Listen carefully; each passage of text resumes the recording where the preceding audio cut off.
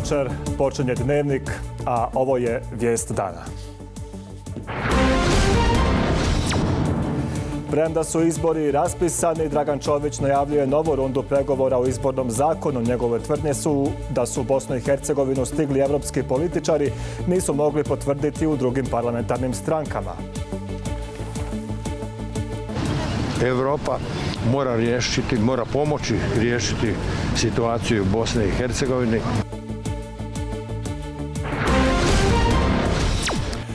I ovo su teme iz večerašnje emisije. Fašizam, riječ koja je obilježila prošlost, ali se sve češće koristi u opisivanju suvremenih događaja i trendova. Je li poražen ili iznova diže se i oštri kanđe? fašizam e, stalno vraćati, jeli, sve dok se e, ne suočimo sa e, nacionalizmom,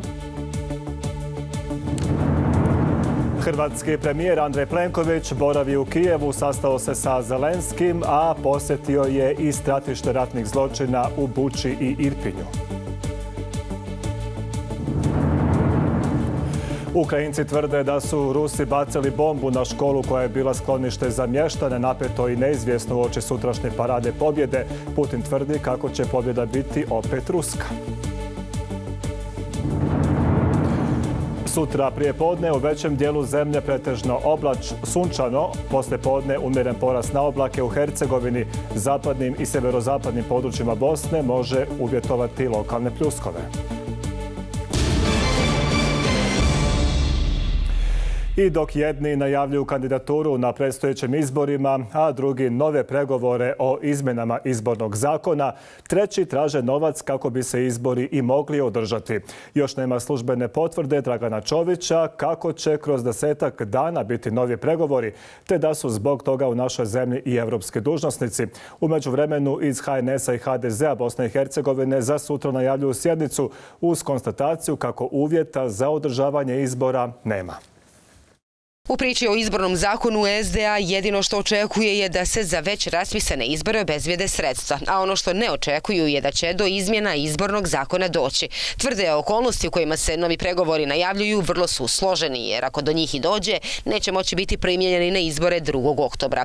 Parlamentarna skupština Bosne i Hercegovine mogla bi donijeti takvu odluku, ali neće jer je zastupnici SDA, kažu, neće prihvatiti. Mi smo svjedoci da je tokom nekoliko zadnjih mjeseci prohujalo mnoštvo tih europskih zapadnih diplomata koji su zapravo samo vršili pritisak na probosanske političke stranke da prihvate ono što Čović odgovara.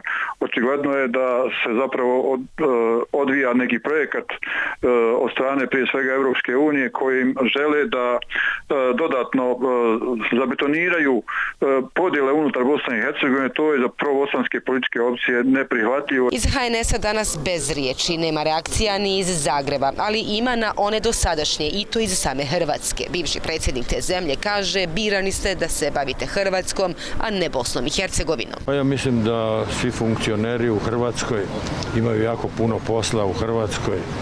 Mogu se oni baviti i međunarodnim poslovima, ali to im ne mora biti osnovno njihovo zanimanje.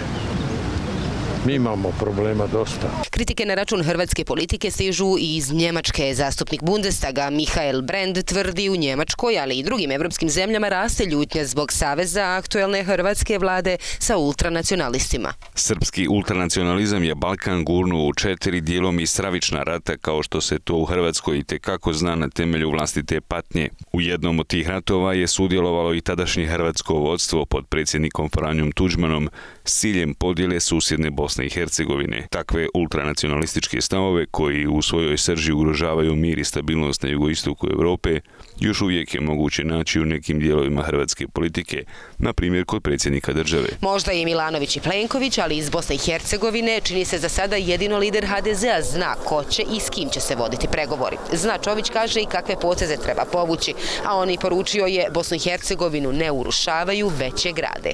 Hrvatski narodni sabor je donio zaključke. Jedan od tih zaključaka, ja sam posebno naglasio to onaj sedmi, koji na tragu ustava, ustavnih ovlasti, ovlaštava da na neki način svim političkim i pravnim sredstvima tražimo rješenja za Bosnu i Hercegovini. Ovo nije zamka za bilo koga, nije prijetnja, ovo je jednostavno traženje puta, kažem još jedno, jedne moderne evropske Bosne i Hercegovine. No ni pojedini članovi CIKA nisu optimistični da bi do izmjena izbornog zakona moglo doći, a ako dođe i državni parlament potvrdi, CIK je dužan poštovati zakon koji je na snazi, kaže Irena Hadži Abdić.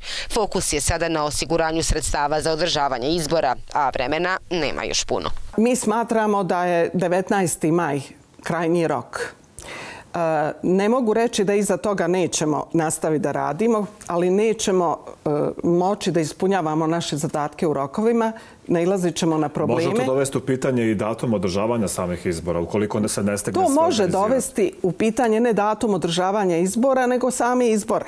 Umeđu vremenu kandidaturu za člana predsjedništva Bosne i Hercegovine potvrdio je Željko Komšić, upravo čiji je izbor u predsjedništvo Bosne i Hercegovine bio povod strankama okupljenim oko HNS-a da inzistiraju na izmjenama izbornog zakona, jer kako oni tvrde, Komšića su izabrali Bošnjaci, a ne Hrvati, čije bi interese trebao predstavljati. Sanda Arnautović, N1 Sarajevo. Ne znam da li je tu, ali Nermin Neslaganja BH političara mogla bi biti tema i novog izvještaja visokog predstavnika koji bi se trebao naći pred Vijećem sigurnosti UN-a. Mnogi očekuju da bi se u Njujorku mogle pomenuti nove sankcije protiv pojedinih političara. Umeđu vremenu vlada Republike Srpske kao i prethodnih godina uputila je svoj izvještaj UN-u u kojem navodi kako je ovaj entitet opredjeljen za poštovanje, pridržavanje i provođenje Dejtonskog mirovnog sporazuma kao i za integraciju Bosne i Hercegovine u Europsku uniju.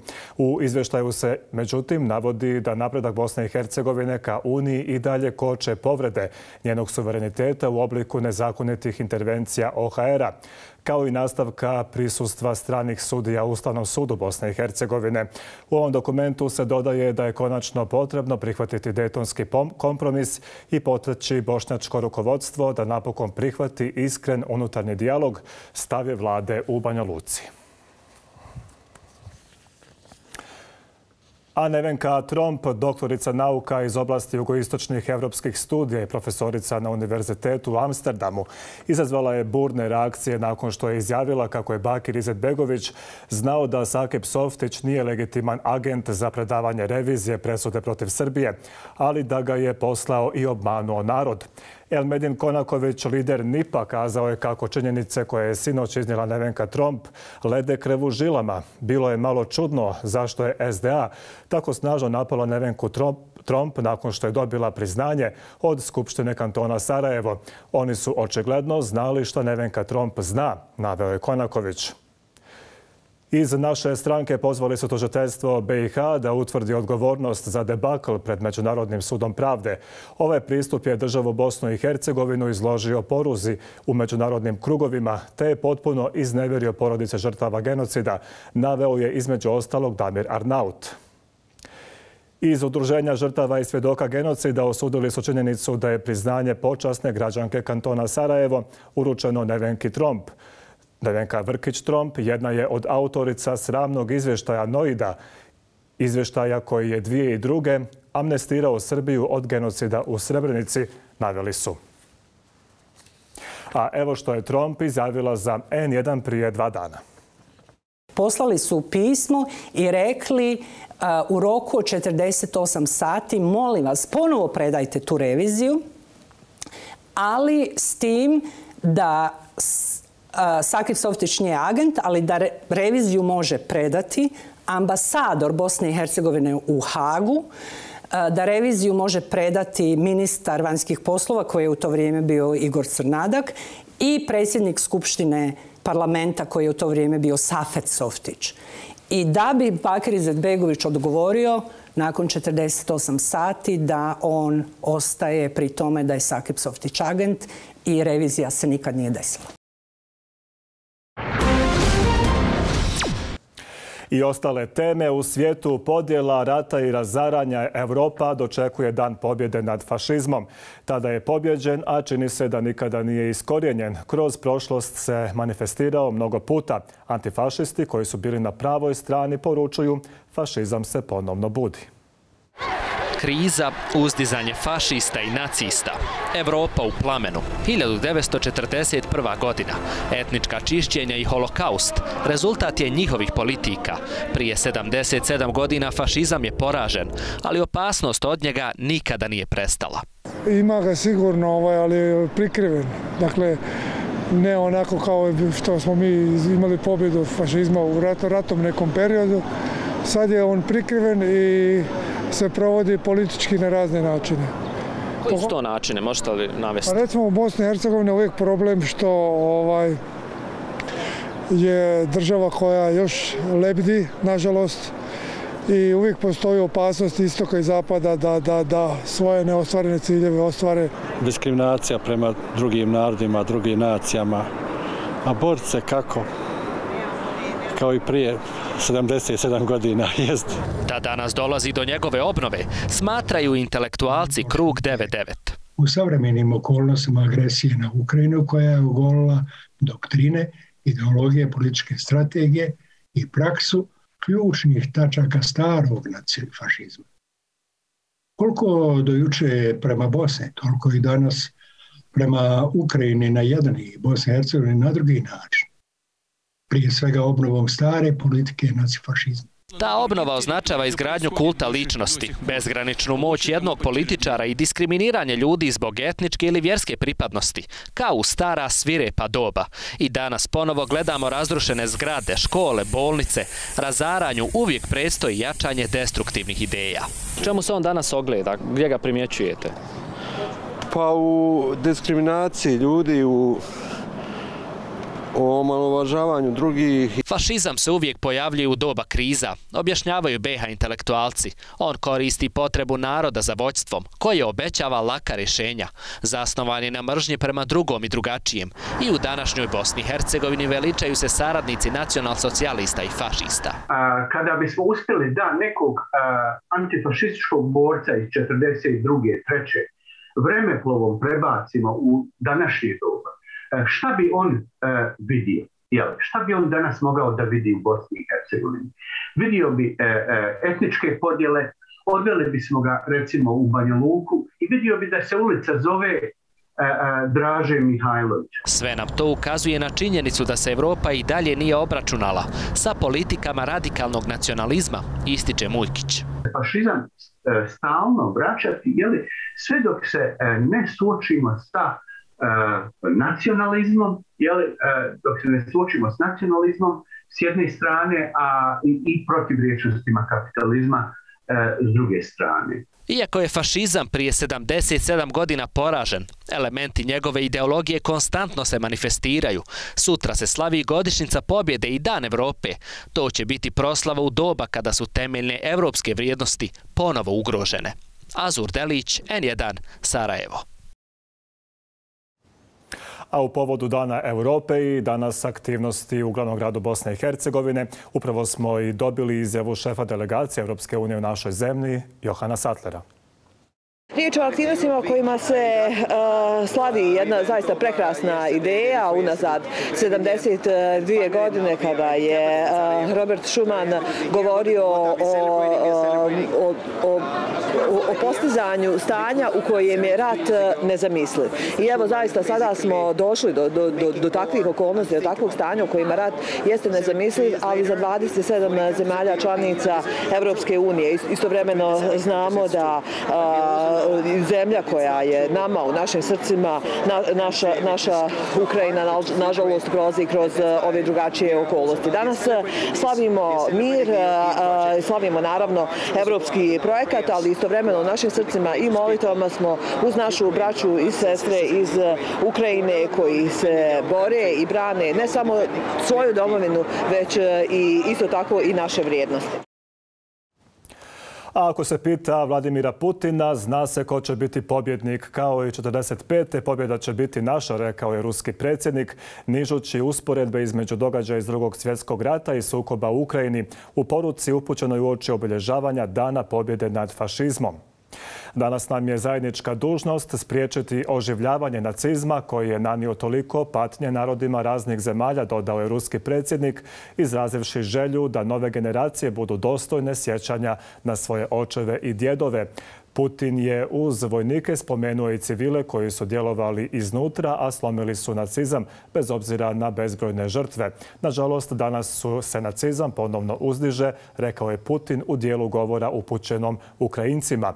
Američka ambasadorica UN-u Linda Thomas Greenfield poručuje u intervju za CNN kako Rusija sutra nema razloga za slavlje. Njena poruka je da će Rusija sutra na Crvenom trgu slaviti svoje neuspjehe u Ukrajini. Divimo se otporu koji ste pokazali prema ruskoj agresiji. Riječi su to hrvatskog premijera Andreja Plenkovića koji je nenajavljeno posjetio Kijev. Ponudio je Plenković i pomoć Ukrajini na njezinu europskom putu kao i iskustvom poslije ratne obnove te razminiravanju. Volodimir Zelenski Plenkovića je srdačno dočekao, zahvalio na pomoći, ali još jedan put apelirao na Zapad da više pomogne u naoružanju. Srdačan susret i obostrana zahvala.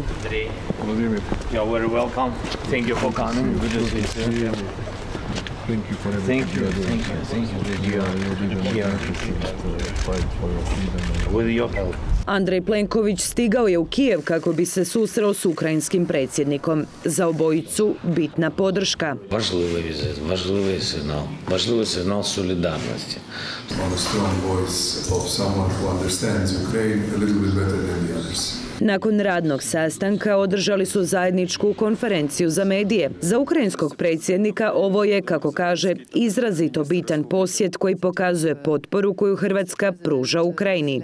Hrvatija je принциповою учасницею нашої антивоєнної коаліції. Ми разом захищаємо право не тільки наших громадян, не тільки громадян України, але й кожного європейського народу на незалежне і демократичне життя. Ми разом захищаємо майбутнє об'єднаної Європи та робимо все, щоб повернути силу міжнародному праву. Хорватія знає, що значить виборювати свободу, виборювати свою свободу. Ви захистили волю для свого народу у визвольній війні в 90-х роках минулого століття. І зараз ми говоримо з Хорватією однією мовою, мовою цінностей і боротьби за свободу. Naglasak na sličnim iskustvima koje dvije zemlje imaju. Говорили, як можемо спільно працювати для відновлення нормального життя в деокупованих районах нашої держави. Хорватія має значний досвід в розмінуванні території. Я звернувся з проханням надати нашій державі необхідну допомогу, особливо в в нашій програмі відновлення України. Premijer Plenković rekao je da se divi otporu koji su Ukrajinci pokazali prema ruskoj agresiji, te da se bore za slobodu ne samo Ukrajine, nego i za vrijednosti koje svi dijelimo. Pozdravio je što je Ukrajina tako brzo odgovorila na upitnik Europske unije i obećao daljnju podršku Ukrajini da dobije poseban status u EU. The experience we had, unfortunately, after we were a victim of aggression at the beginning of the 90s, in the post war reconstruction, in the post war demining process, and in the post war reconciliation process. These are the experiences that we would like to share with you in this situation that Ukrainian is found today. Izaslanstvo je podignulo i hrvatsku zastavu ispred našeg veleposlanstva. Uz premijera ministar vanjskih poslova Grlić Radman, Zvonimir Frka Petešić i hrvatska veleposlanica Anica Đamić, koja ondje i dalje ostaje. Our ambassador who has been all along in Ukraine, she was in Lviv for last couple of weeks, but now she has been back in Kiev and the embassy here of Croatia will function normally, thus also sending a strong signal of support to Ukraine and to the Ukrainians. Plenković se sastao i s ukrajinskim predsjednikom vlade Denisom Šmihalom te posjetio uništene gradove i mjesta velikog zločina. U Irpinju su mu lokalni zapovjednici objašnjavali kakav su otpor pružali agresoru i što je ostalo od njihova mjesta. Mjesto najvećeg zločina Buča potreslo je hrvatskog premijera kao i sve strane dužnosnike koji su ga obišli. A diljem Ukrajine i dalje se nastavljaju borbe ukrajinskih branitelja ukopani tjednima u podzemnim skloništima goleme čeličane Azovstalj, posljednjeg uporišta otpora ruskoj vojsci u razorenom lučkom gradu Mariupolju. Objavili su da predaja ne dolazi u obzir, te će se boriti dok su živi. U međuvremenu izvršena je evakuacija civila.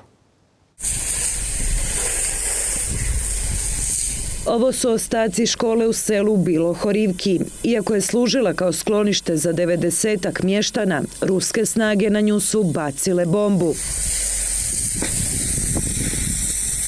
Nakon gotovo četiri sata ugašen je požar, a na zgarištu su pronađena tijela dvoje ljudi. Postoji strah da ni ostali civili nisu preživjeli. Potraga pod ruševinama još uvijek traje. Ali škola zrenovana povnjestju.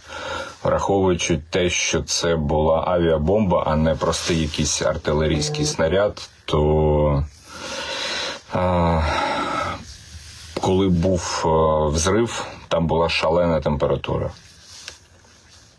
Звісно, що зараз а, наші працівники ДСНС будуть намагатись максимально швидко а, розібрати завали, але дуже маленькі а, шанси на те, щоб там залишився хтось живий. Završena je evakuacija civila iz Čeličane Azovstalj u Mariupolju. Jedine preostale utvrde ukrajinskih snaga. Predsjednik Zelenski poručuje, sada prelazimo u drugu fazu. Вдалося врятувати більше 300 людей, жінок, дітей. Фактично, ми вивели цивільних з Азовсталі і готуємо зараз другий етап евакуаційної місії поранених і медиків. Звичайно, якщо всі виконують домовленості, звичайно, якщо не буде брехні. Безумовно, працюємо і над тим, щоб вивести наших військових, усіх героїв, які захищають Маріуполь. No do zapovjednika Azova kritizira vlast i poručuje, moguće je da u Čeličani ima još civila. І саме гірше в цьому всьому, що а ми а ні, жодної спецтехніки на завод е, не ну не приїхало.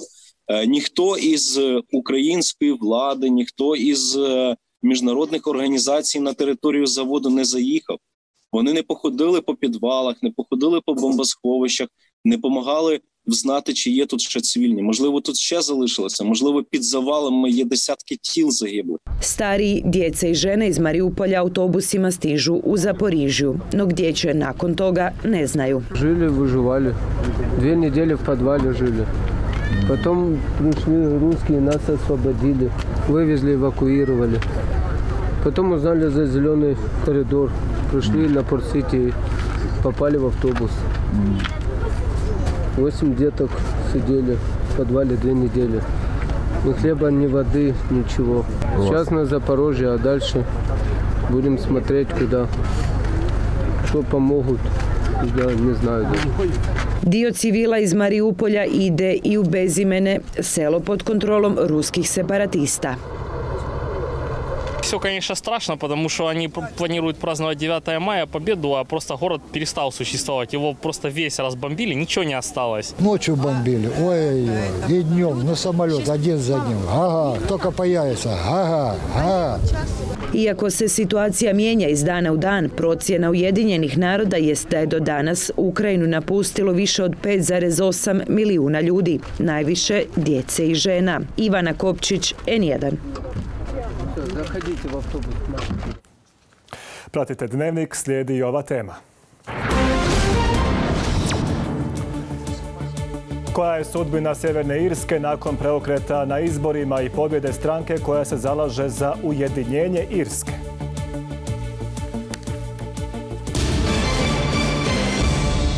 Nevjerojatne snimke stižu iz Pakistana. Most u sjevernom dijelu zemlje srušio se u naletu bujica nakon topljenja leda u planinskom jezeru uzrokovanom toplinskim valom. Lokalni mediji izvještavaju da se volumen vode u jezeru zbog topljenja leda povećao za 40% u prošlih 20 dana, a sve zbog neobičajeno visokih temperatura za ovo doba godine. Rapidno topljenje ledenjaka stvorilo je oko 3000 jezera na području sjevera, a čak 33 uskoro bi se moglo početi prelijevati, čime bi ogromne količine vode u bujicama krenule u podnožja planina i doline.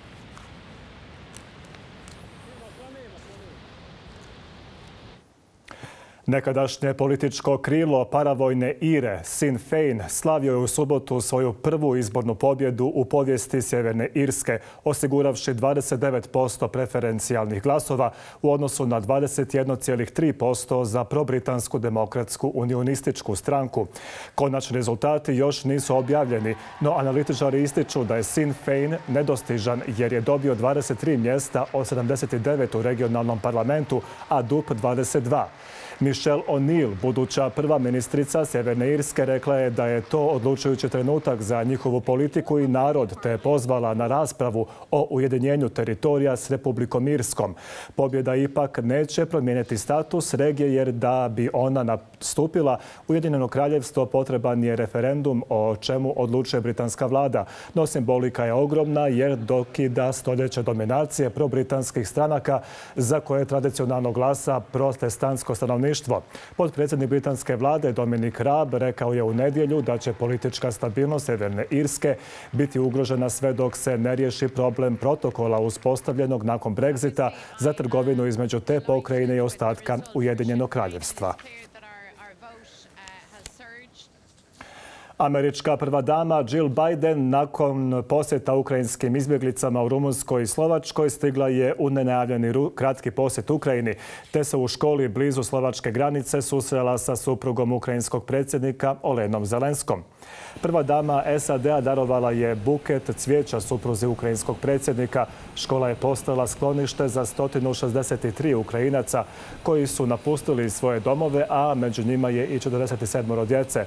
Posjet je čuvan u tajnosti do posljednjeg trenutka, a ovo je bilo prvo javno pojavljivanje Olene Zelenske od početka ruske agresije 24. februara.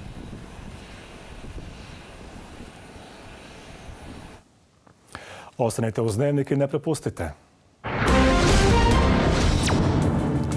Otpor ruskoj invaziji Ukrajine iz Kijevskog metroa svojom muzikom pružio je legendarni američki pjevač.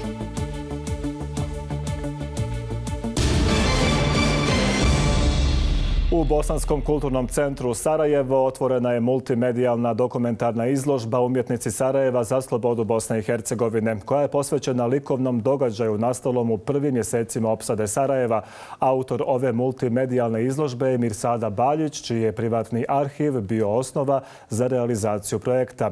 Pored fotografije i dokumenata u okviru projekta nastao je i dokumentarni film Izložba 92 Jasmina Durakovića, koji je bio jedan od aktera organizacije izložbe u Kamernom teatru. Izložba će u BKC-u biti postavljena do 17. maja. Ta izložba je bila bitna i važna zato što je bila praktično jedna od prvih e, velikih izložbi umjetničkih događaja 1992. godine kada su sarajevski umjetnici oni koji su tu ostali, koji su po meni bili na pravoj strani istorije, ovaj, svojim umjetničkim djelovanjem jeli, pokazivali zašto je e, Sarajevo bitno, šta je kultura. I na neki način su bili ono, jeli, jedna linija, linija odbrane e, Sarajeva i Bosne i Hercegovine. Danas kad smo uspjeli da izložimo dokumentarnu izložbu i isto tako dokumentarni film, izložba 92, e, mi smo htjeli da evociramo, da damo omaž svemu onome što je bilo prije 30 godina. 30 godina rada, 30 godina nekog htjenja da budemo normalni, da budemo drugačiji, da istrajemo, da pobjedimo ono zlo u kome smo se našli. Legendarni pjevač Bono održao je koncert na metro stanici u Kijevu u jeku ruske invazije na Ukrajinu. Nastupio je sa svojim bendom U2. Izveli su kultne hitove, a publika je pjevala s njima, zaboravljajući na nekoliko minuta na užase rata i patnju koju proživljavaju više od dva mjeseca.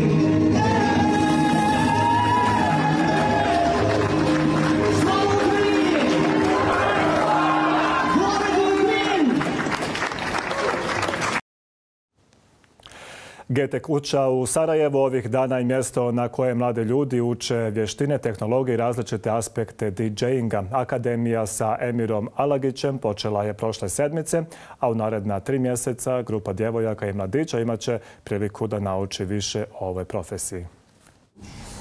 Za samo nekoliko dana na otvoreni poziv GT instituta Bosne i Hercegovine za Akademiju DJ-inga stiglo je 70 prijava. Pa nismo imali pojma da će biti ovakav odziv, to je zaista sjajno, da mladi ljudi prije svega prate GT institut i taj naš rad, da su prepoznali tu saradnju sa DJ Solom i da i da su se prijavili nekih 70 ljudi u četiri dana je zaista impresivan broj. Mi smo se prepali kako izabrati onda učesnike i učesnice. Tako da smo ovaj, na sebe morali preuzeti težak zadatak da tu malo proberemo, da beremo, ali, ali e, dobro je došlo da bi napravili jednu šarenu grupu e, polaznika koja će ono koja zaista želi to i raditi.